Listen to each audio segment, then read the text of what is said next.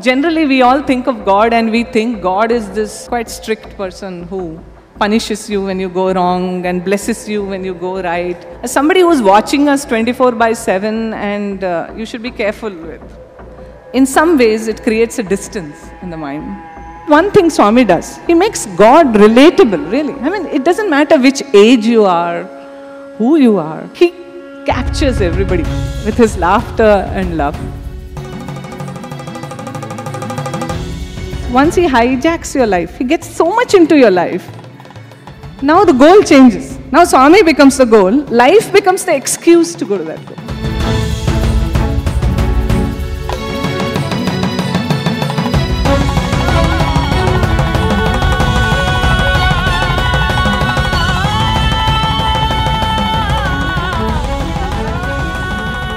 My humble pranams at Bhagwan's lotus feet. I would first like to thank Bhagwan to be such a wonderful God who has touched all our lives and allowed us to love Him, however imperfectly.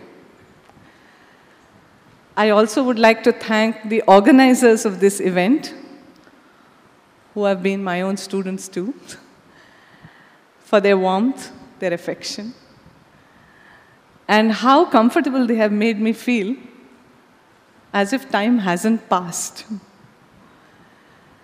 I thank the audience for having come on a Sunday afternoon, knowing that commuting in Bombay is no joke. I thank you for coming. I was wondering what would be the topic which we should speak on, which will be less about me and more about the audience. And I thought of one theme it is how God enters our life.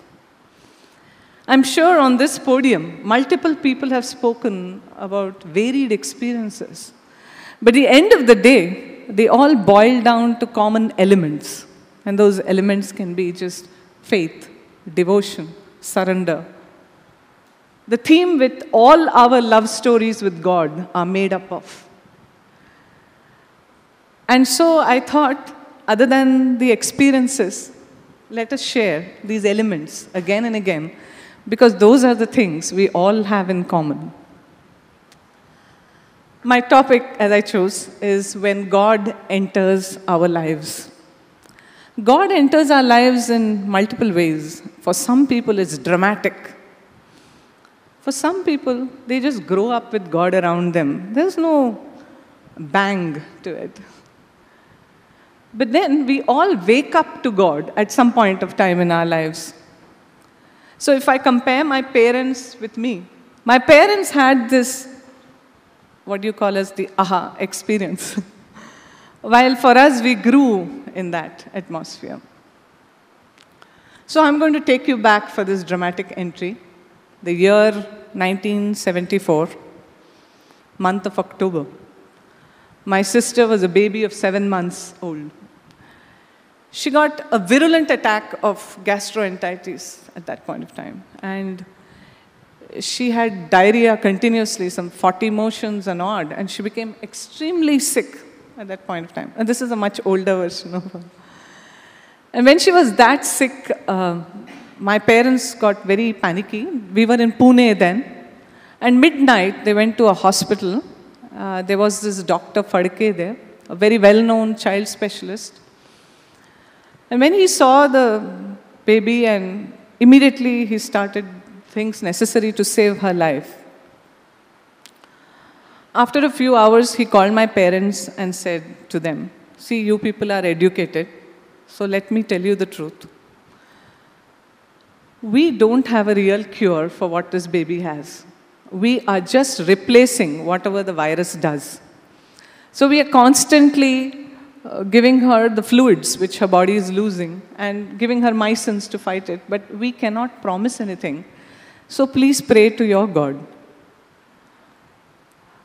Around that time, my parents were just introduced to Swami by a common friend. And these friends have remained friends with. You know, Sai friends remain lifelong friends. people may come and go, but when the bonding with others is made on the basis of Bhagwan, that bonding hardly fades. So, this uh, introduction to Swami was made by them to my mother, and they used to constantly speak of Swami in their houses. Because my parents were not so inclined, they politely listened. But when a crisis comes in your lap, it's a different story. So my mother started praying fervently. Swami, I don't know who you are, eh, Sai Baba, if you are God, please save this child. It, they were in the hospital for a long period of time, and one Sunday afternoon, my mother kept this baby on her lap. And slowly, in front of her eyes, the baby turned blue. My sister was a rather fair baby, and so the darkness, which we think is the pall of death, you know, it's very dark. She knew something was wrong, but didn't know what it was. So she panicked. She picked up the child and kept calling people out. And there was a matron, an old lady in a white sari. She called her and she said, Can you hold my baby? I'll go and speak, call the doctor. So they said, It is a Sunday. There is no doctor available. There's an intern. And by the time you call a doctor, it'll be half an hour. So I don't think that's a wise thing. And that lady, she just told my mother, Give me your baby. You know, she literally pulled her uh, child out of her arms, put it on her lap, and kept chanting. My mother didn't know what to do.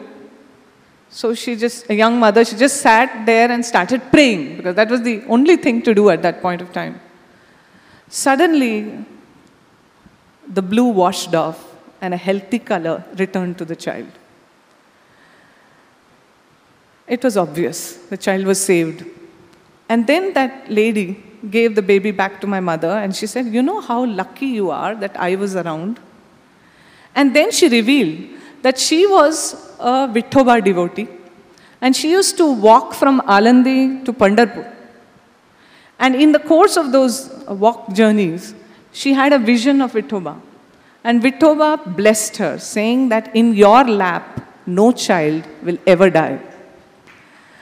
And so this lady joined a child specialty hospital so that she can save as many lives as she can. So this was a dramatic entry. And the irony of it is, later Swami made my sister a doctor with the explicit job of saving. Well, to whom much is given, much is demanded. So this is the way Swami entered my parents' life. And then, you know, it's always like that when Swami enters your life. There is vibhuti, there are dreams, there are messages, and the romance increases and increases. So that's how it happened. But for us, I was about four years old when all this happened. So I just grew up in an atmosphere which was full of Swami. There was bhajan, there is balvikas, there was everything. And when I remember, I see Dharmakshetra, I remember the number of times we practiced here when Swami came, the band, you know, the music practices, and this whole thing was a huge hall. The crowds used to spill. And if you saw, saw even a glimpse of Swami, you felt happy those days. Just the crown of hair, just that orange robe, and your day was made. This was the blessing this place started. You know, I always think all of Swami's uh, places of residence, and like this Dharmakshetra, is so imbued with his presence that when you come there, the mind calms automatically. You can feel that. So, when my journey to Swami, though it began in all purposes here, you don't wake up to God till some time. Mine happened in Anantapur. Anantapur, what happened was the first thing that I changed was my concept of God. You know, generally we all think of God and we think God is this uh, quite strict person who punishes you when you go wrong and blesses you when you go right. God is used as the ultimate, uh, uh, you know, disciplinary measure for all children Swami won't like this, do this, Swami doesn't like this. So, in general, we create this image of God as somebody who's watching us 24 by 7 and uh, you should be careful with. in some ways, it creates a distance in the mind. When I went to Anantapur, I discovered that this God was anything but that. He was fun. Around him was joy. He used to be mischievous. He had jokes to play. He had so many things to do. There was a youthful excitement around him. Anything but a judgmental God. I'll just recount a few experiences of all the fun we used to have with him. When Swami used to come to Anantapur, which is usually around the month of Jan, the message will come very suddenly. You never know when it is coming. Everybody is in anticipation, but then you never know where the D-Day is. And the usual procedure is to be like this. We had a phone which is in the lobby. This phone will ring stridently, you know, loud ring will come. Everybody will freeze. Every phone call, everybody freezes because you don't know what is the message coming.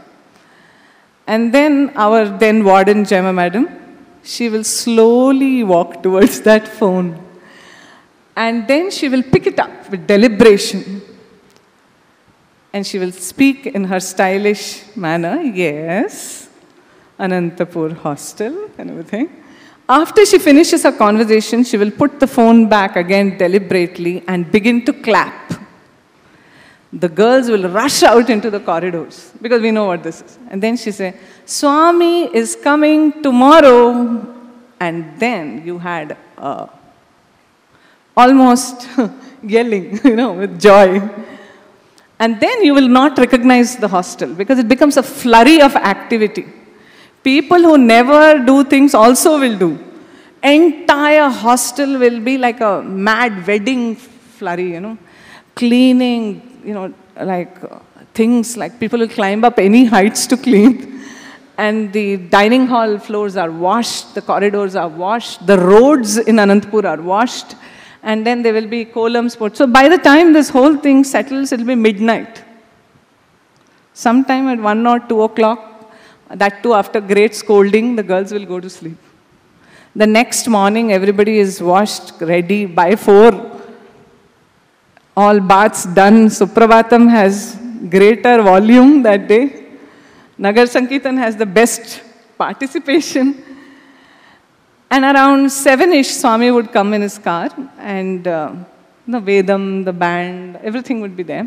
And Swami would go to the common room and he would have breakfast there with the teachers. And after that, Swami would go slowly to the auditorium.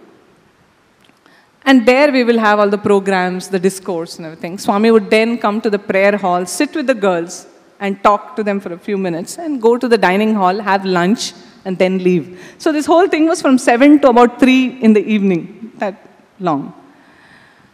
We used to be in dramas most often. And one such uh, occasion, we were in the play, we finished our drama, and Swami went to the dining, uh, to the prayer hall. The prayer hall sessions were very special because Swami will pick up some conversation, talk to so many girls. It was something which you don't know what will happen. And so we didn't want to miss it. So what we did, we decided we are not changing our costume. We are just going with our costumes to the prayer hall. So we made it. Now, everybody was seated in the prayer hall, and Swami was sitting, and you know, the doorway was like that, and we had to come in one after the other. So we had to be really discreet. So one after the other, one one character was entering. I was the last, and I was a Russian soldier or something in that play. So I was in beard and coat and everything. So I was slowly crawling inside, and Swami suddenly said, Boys are not allowed and I looked behind to see who are the boys. and then Swami says, You, you only, you. And then I, I was so embarrassed, I sat down there itself. And I remember once, you know, we had this uh, makeup to put. We used to have this special glue which we had to paste all our face and then stick hair on, on ourselves. So I had put my mirror on the window and I was doing this job. I stuck one side mustache fully. Suddenly I saw Swami going down that uh, passage. So I pulled out the mirror and I was, I didn't expect him to look up. Suddenly he looked up, he saw me with half a mustache. And then he said, Where is the remaining part? you know, he would do things like that. And after, I remember even, I used to think this is all only for us, but Jaima madam used to tell us some brilliant experiences. And she told us one story about how when she was a little girl, uh, that time Puttaparthi was not so, you know, had not many amenities. So what happened was Swami, uh, when they used to go for darshan, they had to go to bath till Chitravati and everything. So Jaima madam had a practice. She would pull out her diamond earrings, give it to her mother, and then go for the bath. So one morning she did that and she went, she gave it to her mother and went. She came back from the bath and then she asked her mother for the earrings. Mother said, When did you give me? She said, I gave it to you. And mother said, No, you never gave it to me. From when did you start lying also? A big thing ensued between the mother and daughter. And Swami came and started putting some more fuel to the fire. Diamond earrings. Don't you have to be careful? This is not the way to behave. And I think Jaimada was so overcome that she was going on insisting, I gave it, I gave it. And then she saw Swami's eyes, there was this twinkle of mischief. She kept looking at him and he did this with his eyes. And then she saw on his robe, as his button, were her earrings. And then she understood Swami had taken the form of her mother, picked the earrings just to play like Krishna. You know? So she used to tell us these amazing stories of how Swami used to play with them. And that's one thing Swami does. He makes God relatable, really. I mean, it doesn't matter which age you are, who you are, who doesn't like a good laugh. He captures everybody with his laughter and love. Once we change our concept of God, you know, end of the day, we are all uh, selfish beings. Our main question is, does Swami know me? You know, he may be God, he may be everything. We need to be personal with this God. So when the more and more I used to hear these stories in Anantapur about Swami, I used to start thinking, ठीक but I am just a roll number. There are 500 students in this place. How does Swami know me? I am imagining he knows me, but does he really know me? You know, all these doubts would come into our mind. And then one day what happened was I was sitting in the, you know, a college is a round building and it has this huge ground behind it. And end of the ground, there's just wilderness and fringed with blue hills. It's a beautiful scene. And especially if you come from a concrete jungle like uh, Bombay, the sight of even plain earth is a miracle. So I used to make it a point to sit there and watch the sunsets. And you have amazing sunsets over there. And I was thinking, you know, this relationship between God and man is like this sun and us only. The sun is millions of miles away, but the warmth is felt. Maybe God and us is like this only. We'll never be near God. God will be far away, but we'll feel His warmth, we'll feel His love, and this is the way we relate. So, this was like making peace, you know, with yourself about basic questions. And that day, what happened was, later, then I heard the prayer bell, I went for prayer, and the day ended. That evening, very evening, when I was sitting on the stairs and looking at the sunset, Swami had called my father for an interview in Puttaparthi. It was some official meeting, they were discussing so many issues. And suddenly, Swami asked my father, You have a daughter in uh, Anantapur? Yes, Swami, I have a daughter in Anantapur. Then he said, uh, She sits on the stairs and draws me. Okay, that we don't know. then Swami said, You tell her, Anantapur is full of my presence. If her heart is open, she will receive it. So he actually answered two questions. Number one, he knows you. Without doubt, he knows everybody. I remember in one discourse, Swami said, People ask, How does Swami know everybody? It's not possible. And Swami says, If an ant moves on your body, don't you know it? And this is the universe is God's body. A slightest thing on it, God will know. Where is the doubt in that? And the other thing which he showed was how the presence of God is actually everywhere. You need openness to it. The other thing which Anantapur taught me also was how God and life are not watertight compartments. They are seamlessly one. And this is one thing which Swami teaches you.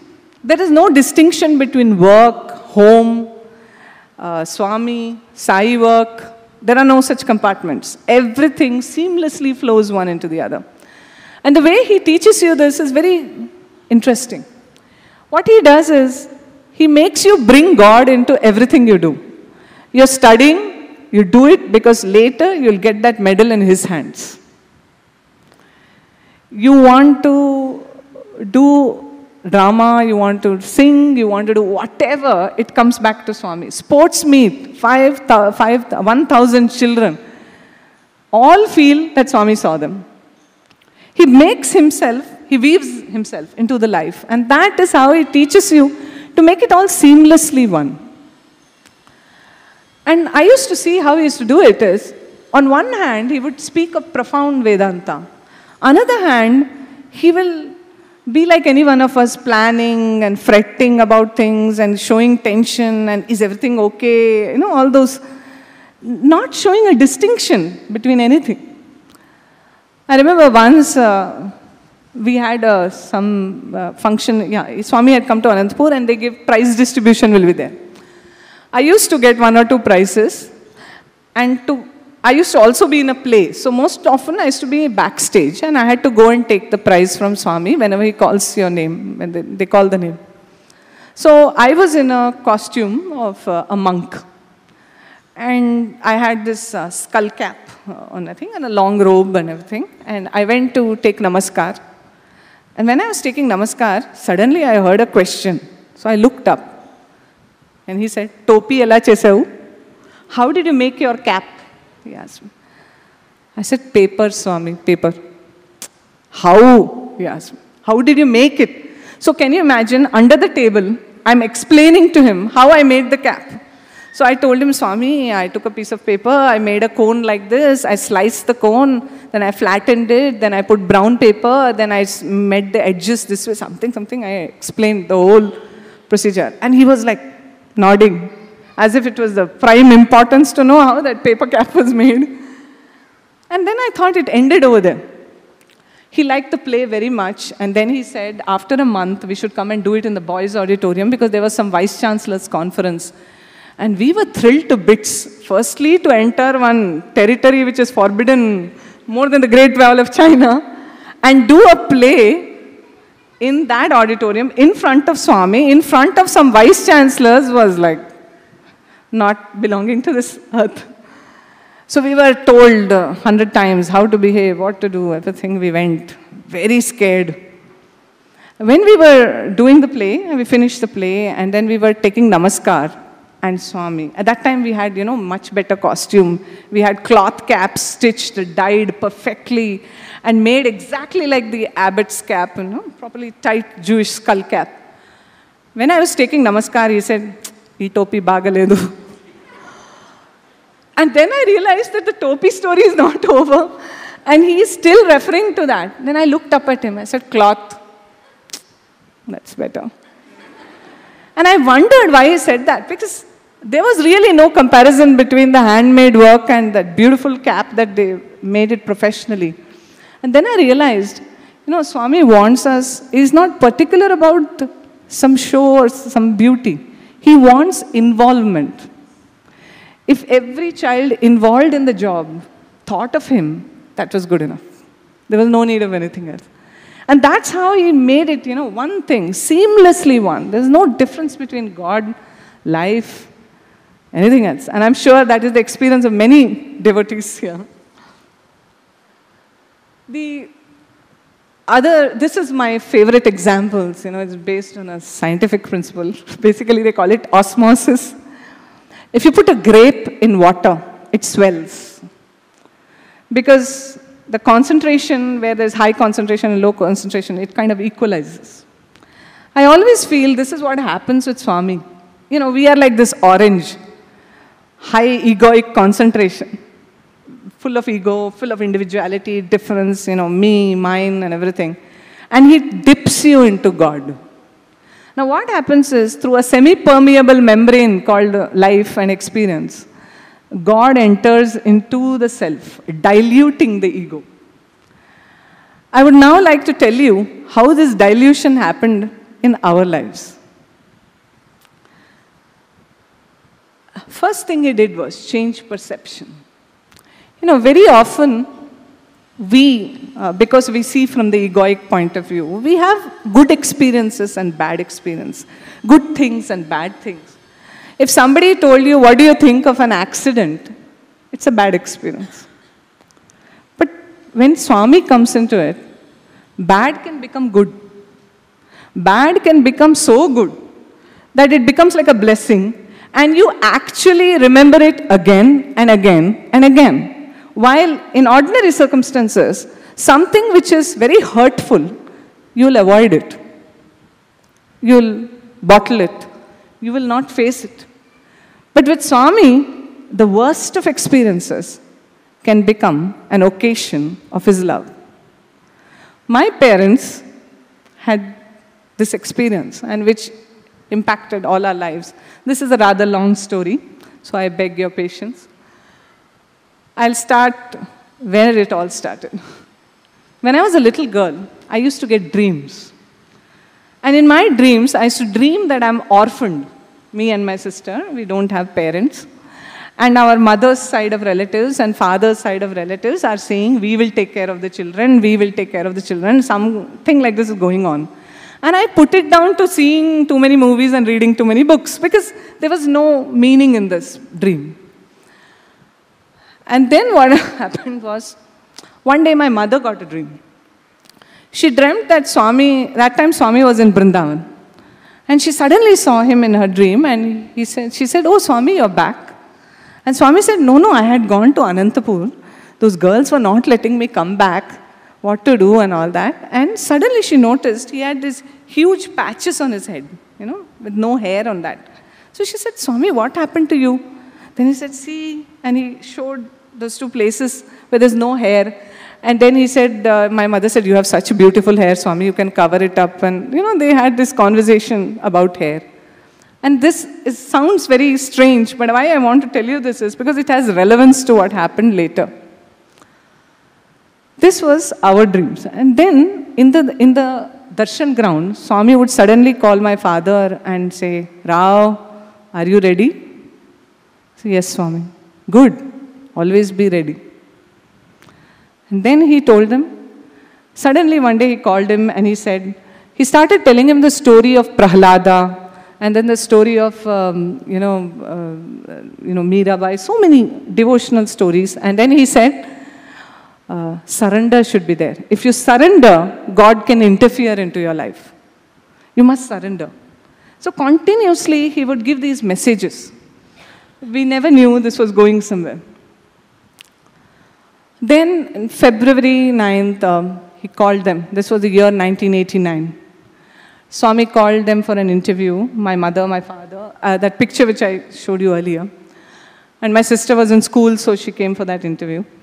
And Swami blessed my mother, Dirgha Sumangali Bhava. He gave her a, a mango yellow sari, blessed her profusely. I think that was the day he decided to interfere into their lives. Later, people told us that Swami had already told some, some of the officials, start looking for somebody else. Rao won't be there. They were wondering what it meant. How can he not be there? He is very much there. But there was definitely something written for them. Then came the day on which this happened. Even that had some precursor. The day, a few days before that, you know, every time Swami was in Brindavan, Prashanthi Nilayam would be going up and down.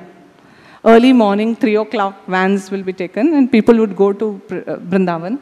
7 o'clock, Swami would give darshan. After darshan, everybody would return. So this was a regular thing. And one time before this February, uh, sorry, before March, when my parents had gone to Brindavan, suddenly Swami told all Parthi people have to go back early.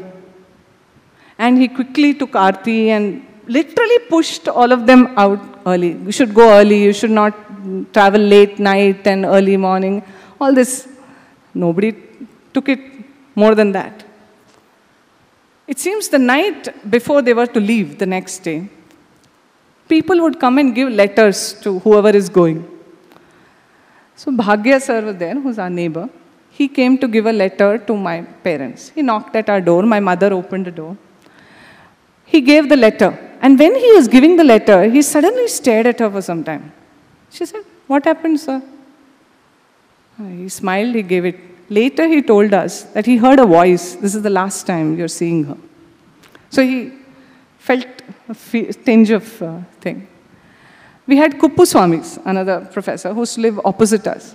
That night, he got a dream that he was carrying dead bodies. So he came and told his wife, I dreamt it. She said, I'm also coming with you to Parthi tomorrow.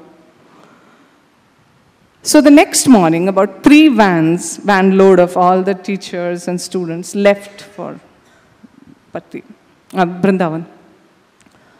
They had reached Chikbalapur, they stopped there for a cup of tea, and uh, the particular van in which my parents were traveling, that guy was driving like Ben Hur. And they were telling him, go slow and everything. The boys, uh, two boys were there in the van, they were joking, this rate we will reach Kailasha faster than Vrindavan. And they were joking. Then they got into the van and they were, they crossed uh, they were going further. I think they were closer um, to Bagepalli. I'm, do, I'm not, uh, no, beyond Bagepalli, right? So when they were traveling, my mother closed her eyes and she saw Swami clearly, you know. She was thrilled. She got up to see whether it's a dream or real. Again, she closed her eyes. She could see him that close. Then she told her neighbor, You know something? If I close my eyes, I can see Swami. She didn't finish that sentence. This van was going at a high speed. There's a lorry coming from the opposite side. And this uh, uh, van driver wasn't giving way to the lorry. And the lorries, you know, they don't believe, they are the kings of the road. So he wasn't uh, budging either. The last minute, our van swerved. But in the swerve, the timing was wrong. So the lorry hit the back of the van. So in that speed, the van began to toss three times over and landed with its wheels above. My mother said that the, all the passengers, they were tossed in that. And the, you know, those, those Matador vans had these uh, chairs with iron bars. So everybody got hurt in the bargain. She said when she first came to B, she saw the roof of the van was filled with a pool of blood because everybody inside got injured. She said, I crawled out. She crawled out. And then she realized that her head was torn, jagged by the metal uh, chair. Exactly the same places where she saw in the dream of Swami's patches on his head. And the miraculous thing was she had absolutely no pain. So she was completely aware. She crawled out, sat down, began to push the blood off her face because she had streaming blood. So she was wiping her face to hold it and see what's happening. She was very much about. Now, a lot of people got injured in that uh, thing. My father hit his eye, his, uh, he broke his ribs and had an injury on his head. And because his eyes were hit, he couldn't see. So he was asking for where she is. She hit her jaw, so she couldn't speak. So she was telling him, I'm here, but, you know, that way. And two boys uh, uh, who didn't get much injury, they immediately started trying to help people to come out. And one of them later told me he brought water to pour on my mother, and he was so taken aback when he saw the amount of blood on her, and she was telling, Chant Sairam, chant Sairam to him. He really passed out when he saw that. In the meanwhile, the other van which was coming, that lorry driver, after he hit them, he went ahead because he was going in the opposite direction. He saw the next van. He said, "Tumhare logon ko accident ho gaya hai, wahan jao." He informed them. That was the good thing he did. That vehicle came and then they picked people up. And Kuppuswamy sir was in that vehicle. He had dreamt that he'll pick up bodies. He literally did that. And they took them to Chikbalapur. In the meanwhile, Swami was told, that this happened, and Swami immediately sent. You know, there's one part of God, Swami, which saves people. There's another part of Swami which is all simultaneous. He's so human and concerned. And he's extremely practical. He immediately he got the doctors, the medical things necessary, the funds necessary, sent them uh, calls to the hospitals, everything like how it's usually done. So the doctors landed immediately. They began to look at each person, saw whose damage was to what extent, and decided who goes to the bigger hospitals. So my mother was brought, because she was completely, she could tell what happened, she was lucid. So there was no internal brain injury, that was a surface wound. So they brought her to um, Brindavan. Around, this happened 5.30 in the morning, by 11 they were there in Brindavan. And Swami 20 times he rang up. Have they come? Have they come? Have they come? Finally, as soon as they all landed, he came to the hospital.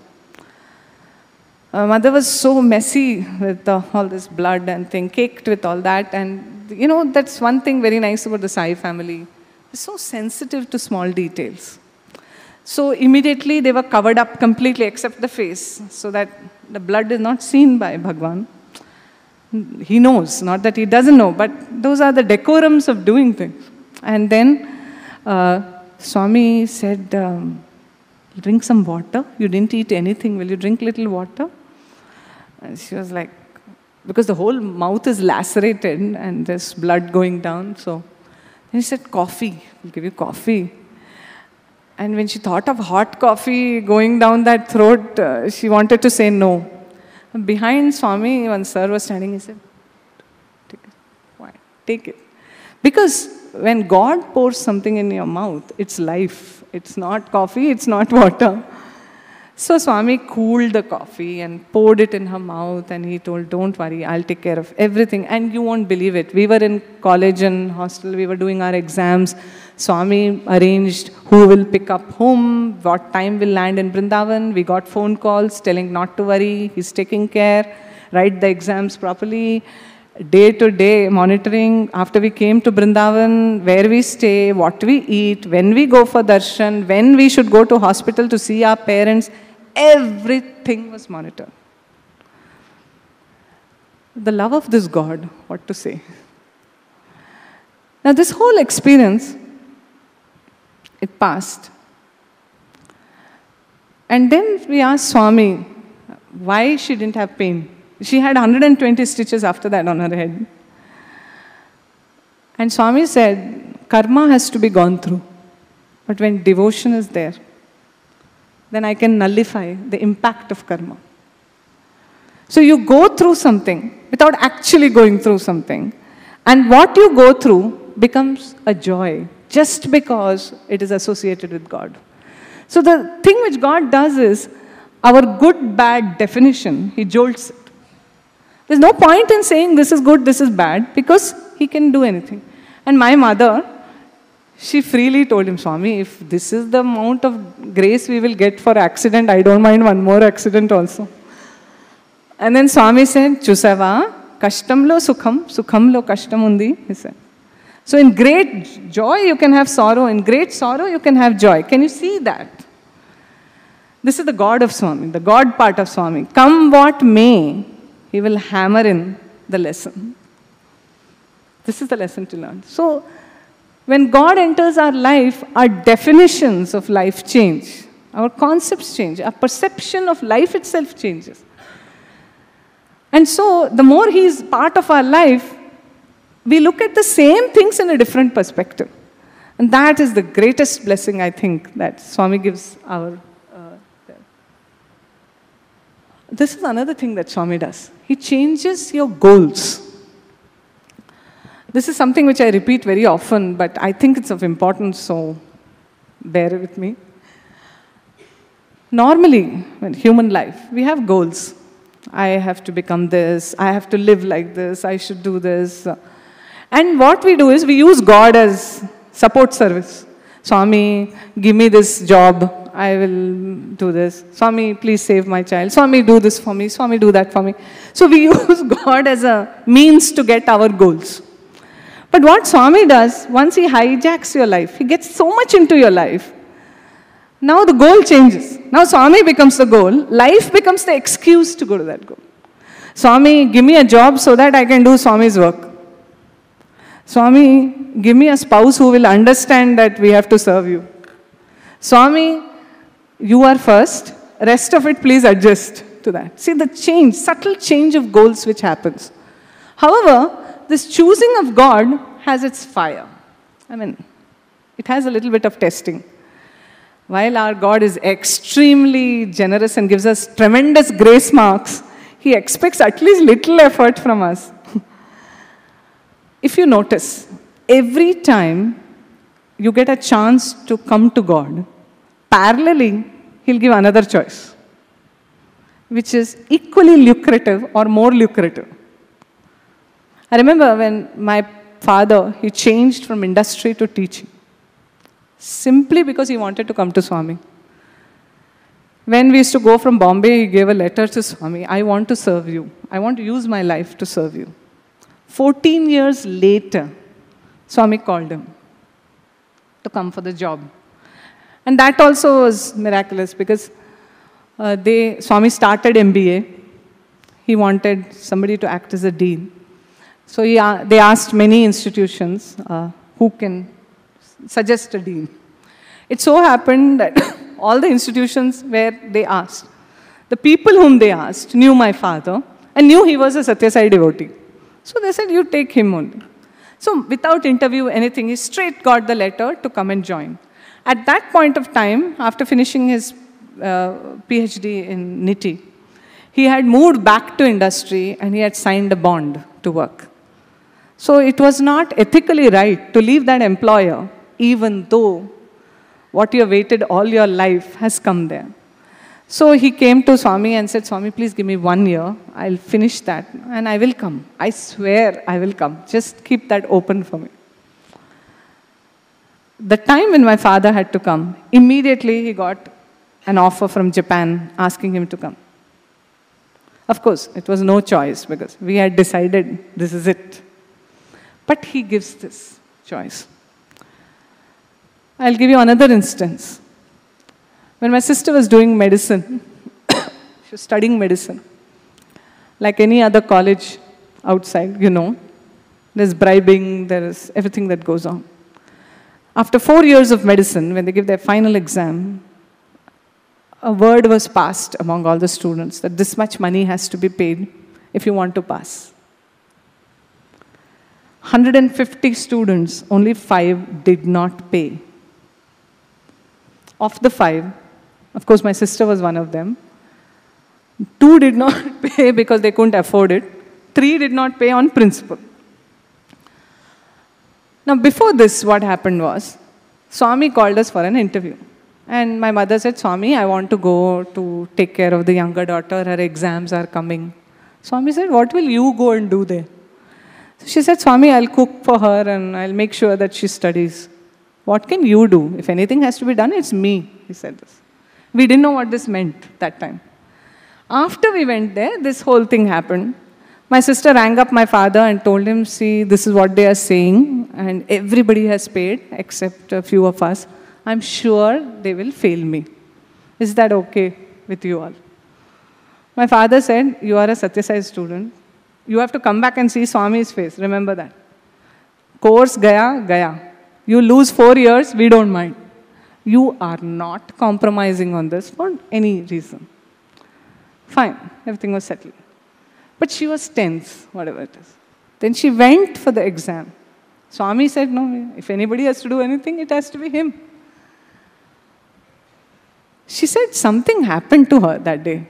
She did brilliantly in all the, you know, the vivas, the tests, and the, you know, they have diagnostic tests, everything. They gave her a difficult case. She cracked it. She impressed the external examiner to such an extent that he was going on openly praising her. And he gave her a grade so high that even, you know, you have both um, valuing. Though the internal grade was given low because she didn't pay the money, her external grade was so high that she actually passed. In the battles of life, if you stick to a principle, it's difficult to fight it. only Swami helps, truly. And this is what he wants us to do. So, he'll, little bit he'll test and see whether you will follow the rule or not. the next thing which happens after more and more of God comes is this desire to consecrate life to Him comes. Almost everybody feels we should do something for society, some for life, which explains why so many of you take time out of a career, of a family life, and somehow make time to do service. It is an ingrained response to love. If you love somebody, you want to do something for them. So it's simple. When God comes to your life, you have do something. It's not something, it's, let's call it involuntary behavior. It's literally like that. You feel comfortable only if you work. And if you don't go even one day, you know, the kind of guilt which operates, I, I mean, everybody feels we're not doing enough. So I used to be extremely, um, this, this sketch is done by one of our students actually. One of the things which I try to make them do is to draw enough of Swami. That's one more way of thinking of him. And I like it very much. She somehow got it. Consecrating your life to Swami, I used to think always, is choosing him. So I used to always think, uh, whatever comes in life, you have to distinguish between yourself, your egoic self, and Swami, and constantly choose, and that is the only way you can survive so one day what happened is Swami gave us an interview. He, I don't know for what reason, he, he was in that blissful mood. And he looked at me and he said, what do you want? Ask. What do you want? Of course, it's like giving you a blank check. I can ask anything from a Mercedes Benz to moksha in that bracket. But I told him, Swami, I want bhakti.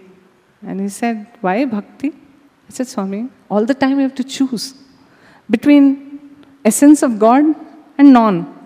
If I have bhakti, I may possibly make the right choices. So please give me devotion. Because we all know our devotion, it's like uh, up and down.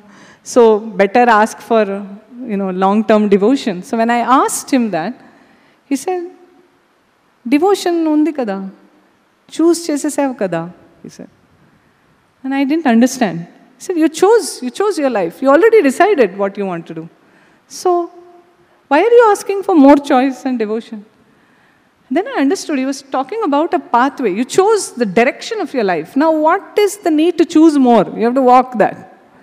Then he said, Ask for obedience. So I said, Swami, please give me obedience. Obedience means not choosing, walking the cho- choice. And that's an everyday grail, you know.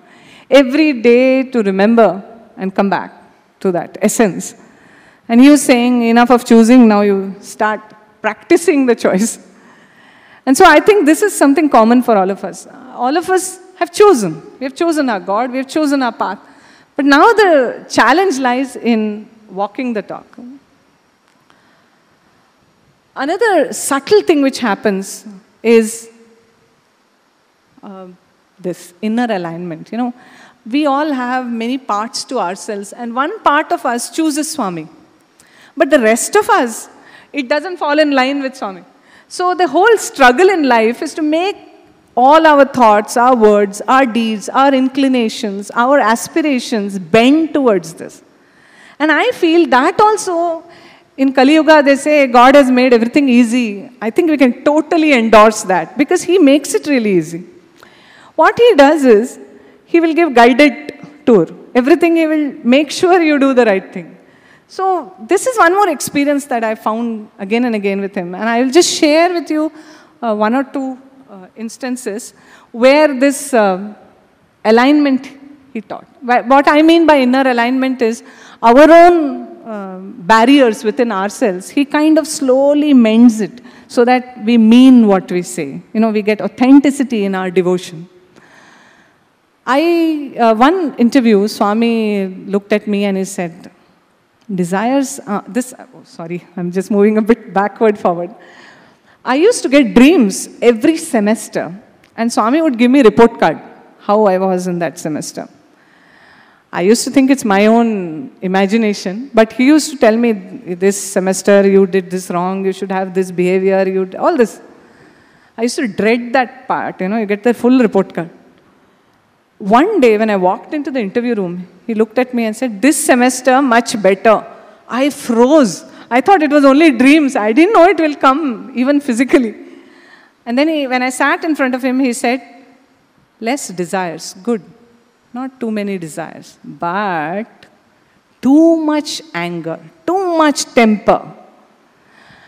And when he said this to me, my mother said, No, Swami, she hardly gets angry and all that, you know. He looked at me and said, Cheppu, less anger? Cheppu? Like, I said, No, Swami, lot of anger. He said, I know what she does in Anantapur when she gets angry. She goes to the prayer hall and she mops from this end to that end, and which I used to do. When I used to get too angry, I would take them, remove it, you know, like work it out by mopping the, you know, you do some seva also, and you work out your anger.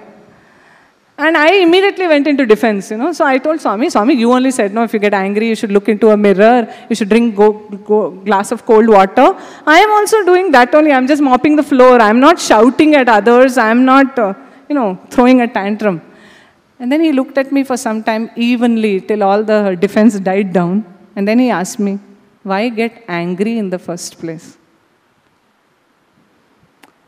That silenced me completely. I had no answer for why should I get angry.